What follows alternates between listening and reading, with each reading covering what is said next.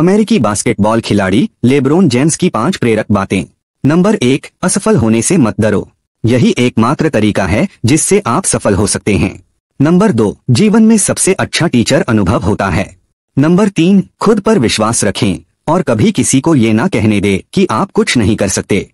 Number चार, आपको बेहतर बनने के लिए असफलता को स्वीकार करना होगा। नंबर पाँच, सफल होने का एक ही तरीका है, कड़ी मेहनत करना।